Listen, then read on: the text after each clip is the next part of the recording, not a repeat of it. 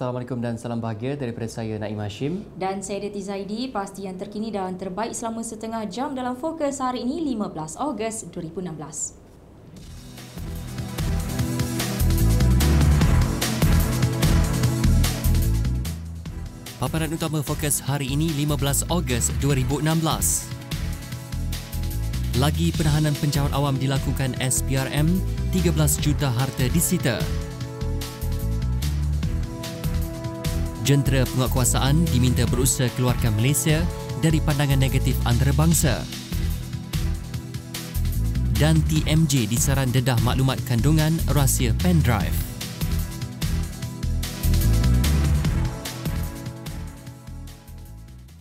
Kumpulan Wang Simpanan Pekerja KWSP mengumumkan bahawa setakat Ahad 14 Ogos sebanyak 25.09% atau 25.1 bilion ringgit daripada peruntukan permulaan 100 bilion ringgit untuk simpanan syariah 2017 telah digunakan sejak tarikh pendaftaran dibuka.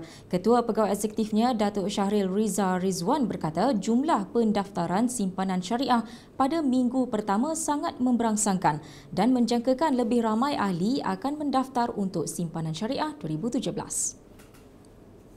Dalam satu kenyataan hari ini, KWSP berkata sehingga kini sebanyak 208,795 pendaftaran terkumpul bagi simpanan syariah dicatat dan secara puratanya lebih 40,000 pendaftaran sehari direkodkan pada minggu pertama. Syahril berkata tarikh tutup pendaftaran simpanan syariah 2017 ialah pada 23 Disember pada tahun ini tertakluk kepada peruntukan dana 100 bilion ringgit tersebut.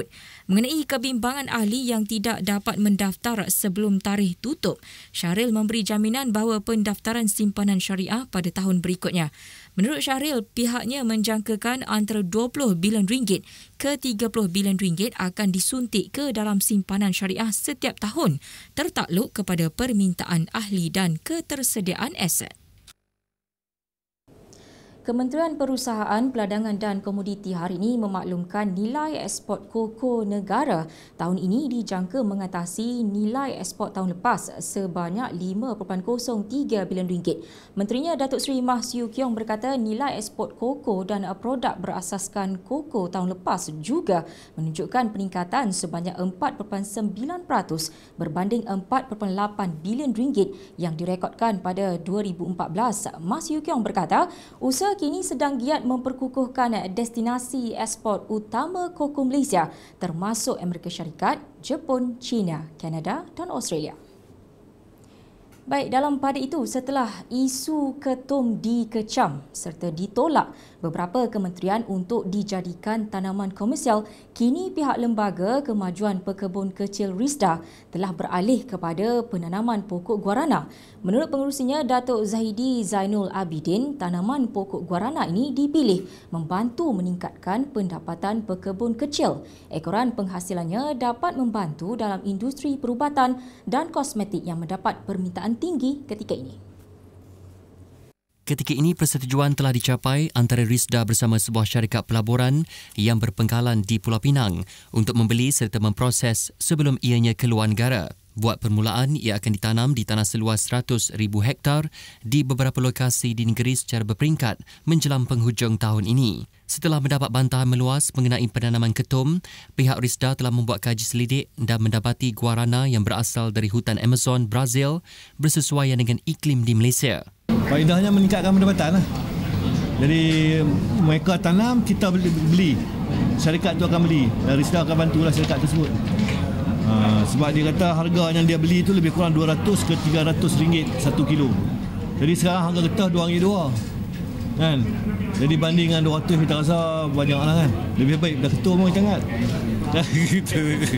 Jadi dia bagi cadangan satu taman yang lebih baik daripada ketua boleh terima. Kan? Kita mengalu-alukan cadangan kan. Dan siapa bagi cadangan untuk menambah pendapatan kebun kecil ni kan.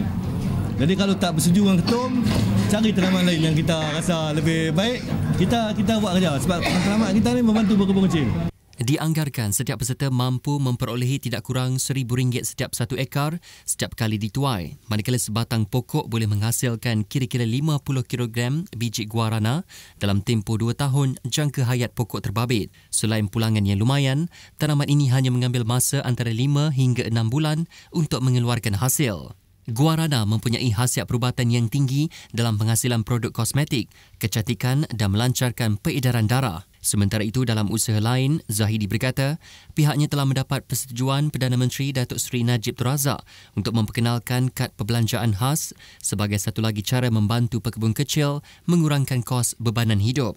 Menerusi kad ini, pekebun dapat membeli barangan keperluan seperti tepung, gula, minyak masak dan beras pada harga lebih murah di rangkaian kedai koperasi Risda tanpa dikenakan cukai barang dan perkhidmatan GST. Untuk kita boleh dapat Benda tu kita dalam proses lah. Kita dah hantar pada kerajaan dalam proses sekarang ni. dan macam Datuk cakap tadi Datuk Ah. dah usulkan pada PM lah Dah dah PM dah sokong. PM dah sokong PM dah sokong. PM pun dah setuju terpulang pada kementerian masing-masing sekarang ni. so sekarang ni di peringkat mana Peringkat kementerian. peringkat kementerian Ha, peringkat PM dah setuju. Saya dah jumpa PM, PM dah bersetuju setengah-setengah perkara lah. Kan? Ha, jadi PM dah setuju, jadi kita akan cuba kan. Ha, cuma dari segi sekarang ni proses kementerian lah. Lisen, sebagainya. Tempat import, prosesnya macam mana kan. Ha, kita tengah usaha lah. Ringgit ditutup tinggi berbanding dolar Amerika Syarikat dan kebanyakan mata wang utama lain didorong kenaikan harga minyak mentah. Peniaga berkata menjelang 6 petang tadi unit tempatan itu disebut harga pada 4.0050 belian berbanding dolar daripada 4.0260 jualan pada Jumaat lepas. Ringgit turut diniagakan tinggi berbanding dolar Singapura pada 2.9804 berbanding 2.9898 pada Jumaat lepas dan meningkat berbanding pound British kepada 5.1693 daripada 5.2153 sebelum ini.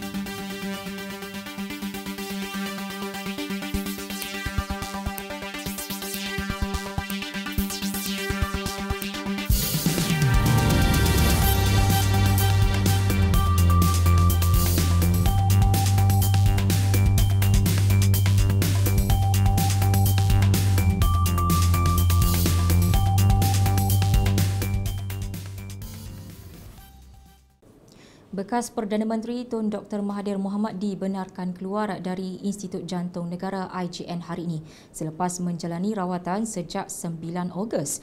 Jabatan Komunikasi Korporat IJN dalam kenyataannya hari ini menyatakan Dr. Mahathir dibenarkan keluar pada 4.30 petang tadi dan akan meneruskan rawatan fisioterapi di kediamannya. Baik, sementara itu Malaysia yakin akan mencapai status tahap 1 dalam laporan pemerdagangan orang 2020 yang diterbitkan oleh Jabatan Negara Amerika Syarikat. Timbalan Perdana Menteri Datuk Seri Dr. Ahmad Zaid Hamidi hari ini berkata sasaran itu mampu dicapai melalui pelaksanaan Pelan Tindakan Kebangsaan Anti Pemerdagangan Orang 2016 hingga 2020 membabitkan kerjasama pelbagai kementerian, jabatan dan agensi memerangi jenayah terbabit. Beliau berkata ia juga mampu dicapai dicapai berdasarkan komitmen dan usaha sama bersepadu jentera penguatkuasaan, perundangan, pelindungan serta publiciti baru bagi tempoh lima tahun. Ahmad Zahid berkata hingga kini Malaysia berada pada tahap 2 pemerhatian bagi tahun 2016 dalam laporan tahunan yang dikeluarkan oleh jabatan itu. Laporan berkenaan menilai 188 negara termasuk Malaysia merangkumi aspek pencegahan, pendakwaan dan pelindungan. Beliau yang juga Menteri Dalam Negeri berkata demikian ketika berucap melancarkan Pelan Tindakan Kebangsaan Anti Pemerdagangan Orang 2016-2020 di Ibu Negara yang merupakan kesinambungan kepada Pelan Tindakan yang dilancarkan pada 30 Mac 2010. Menurut Ahmad Zahid, pelan tindakan itu merupakan fasa kedua daripada Pelan 2010-2015 bagi memastikan Malaysia berusaha mencapai tahap satu dalam senarai kebolehpercayaan agar tidak ada jenayah perdagangan orang berlaku di negara ini. Ahmad Zahid berkata walaupun Malaysia akan berusaha bersungguh-sungguh menentukan tiada jenayah perdagangan orang berlaku di negara ini, isu perdagangan melibatkan sindikat antarabangsa yang membawa mangsa ke negara ini tetap akan berlaku. Ahmad Zahid berkata usaha yang dilakukan oleh polis Diraja Malaysia PDRM, Jabatan Imigresen dan pihak berkuasa lain harus dilihat sebagai tindakan proaktif Malaysia yang sentiasa komited dengan komuniti antarabangsa dalam memerangi jenayah ini.